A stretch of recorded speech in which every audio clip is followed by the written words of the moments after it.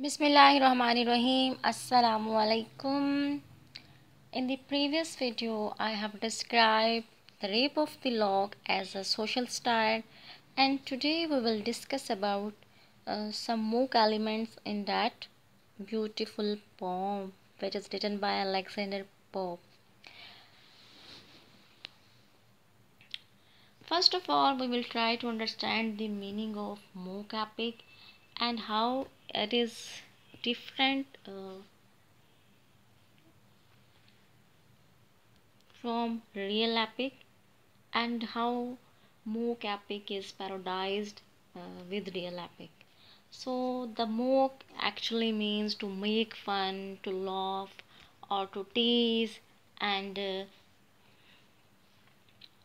and mock epic here means to parodize uh, epic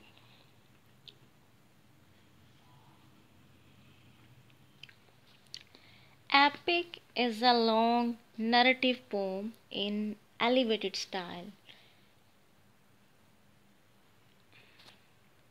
It describes the adventure of superhuman heroes, focus on words. But the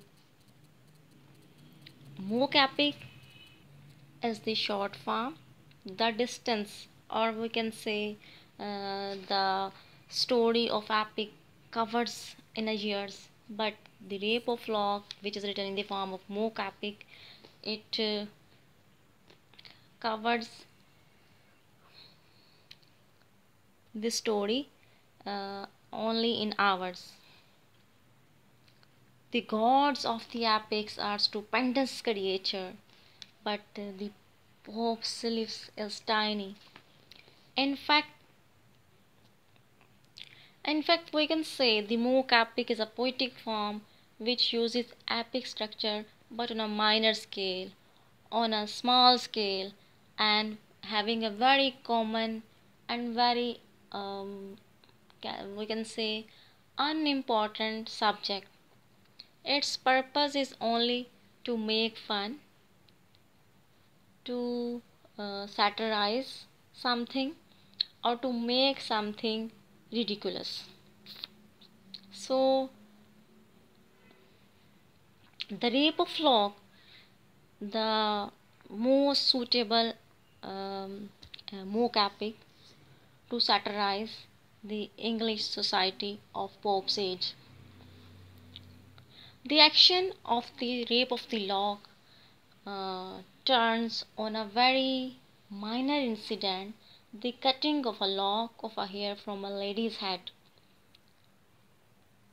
But in the real epic, the action is grand that involves the destiny of whole mankind. In the real epic, theme is serious and dignified. But here, theme is unimportant. We can say very short um, thing is great here.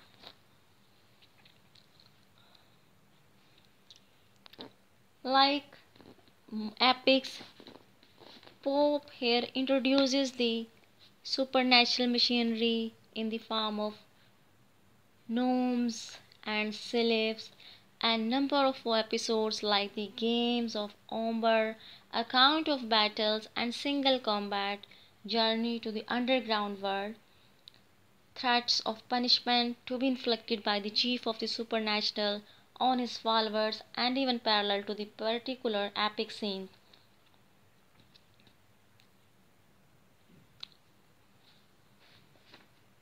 The character placed in this epic from cut, farm, cut a sorry figure and all their action look very ridiculous. So let's try to find some similarities between this mock epic and real epic and uh, uh, how he has uh, parodized the real epic uh, uh, the most of the part of that epic mock epic is parodized uh, John Milton's Paradise Lost. There are numerous examples having resemblance with Paradise Lost the most crucial and the most important parallel scene which occurs in that book just before the cutting of the log when Ariel discovers the secret longing of the beautiful Belinda he finds an earthly lover lurking in Belinda's heart.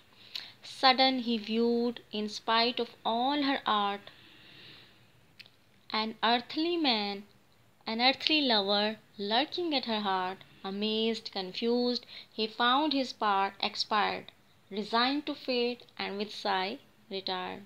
जब जो है एक aerial जो है discover करता है कि एक अर्थली मैन जो है he is lurking at the heart of Belinda तो वो अपनी ड्यूटी से रिज़ाइन दे देता है।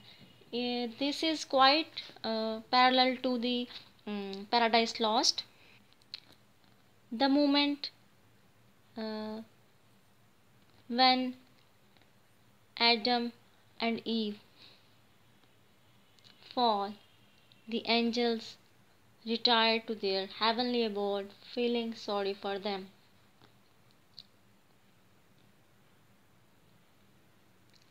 The card game is a mock battle, a symbolical war between the sexes. Then we see another resemblance or another parallel element in that mock epic, uh, especially as usual, Paradise Lost. Dream of Pride, told in Belinda's ear, is parallel to the dream introduced in Eve's ear in Paradise Lost, Book 5 and 6. Belinda's embellishment at dressing table is parallel to the Eve's admiration of herself as a mirror in the pool of Eden in Book 4 of Paradise Lost.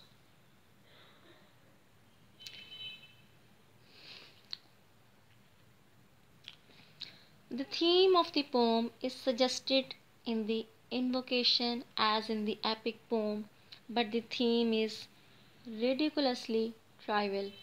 In comparison with the great theme of an epic, the action opens in a more, more heroic manner with the awakening of Belinda, the heroine of the poem. Belinda is the very goddess of beauty, and the lustre of her eyes surpasses that of the sun, who peeped through the veil, white curtain in Belinda's room. The whole structure of the poem in the epic mold. But it could not be a serious epic because the incident is very minor. The poem is divided into cantos like an epic poem, and there is an ironical parallel to the main incident of the epic. The poem begins with an invocation in epic tradition.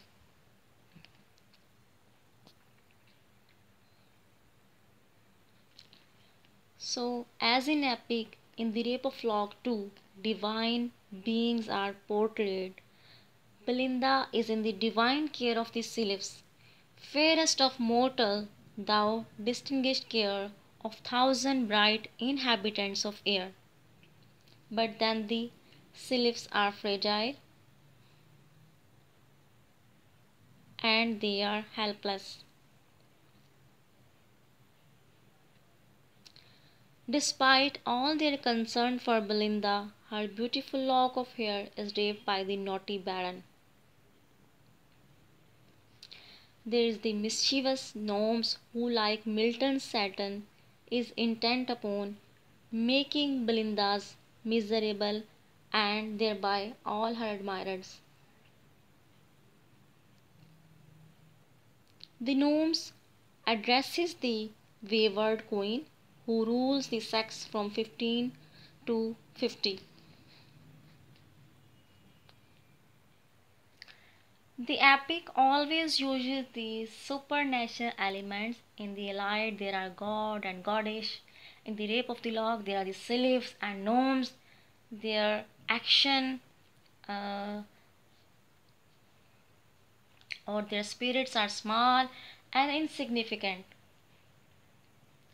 So they actually maintain the very minor theme of this mock epic they guard the personality of the heroine, and where there is a fight between the followers of Belinda and those of the Baron, They take part in the fight like the gods and goddesses in the uh, Trojan War.